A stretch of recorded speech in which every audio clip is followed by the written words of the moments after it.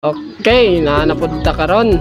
Ay napunta sa loop no. So happy Wednesday sa inyo ah. So natay sa diri ka kalapati nga barako kayo. So sa wala kay saya mao dai ni si Alas mo ni atong last na gilod katong derby before na to gilod si Shamo. So nawala ni siya sa may tagom.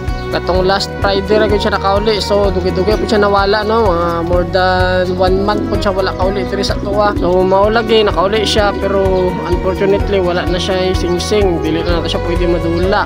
So gihimo na lang ako siya pares diri kay bali kay si Manny apel ako siya panris karon nga ginahimo ni Bilmar kay para na motivation si Mane. So sa wala kay kay Mane, mo siya katong nagpulling winner katong Sunday sa training. Pero dola man to topi. Pero ako na siyang itry og dula karang panrace ni Belmar.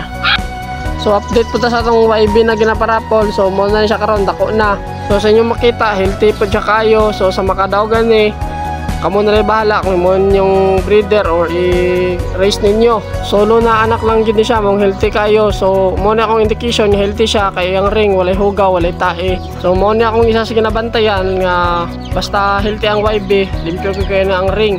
Kay pag ang YB healthy, kabalo na sila mo tindog. Nga ilang ipagawa silang lubot. Tapos sa gawa sila sa nest mo tae.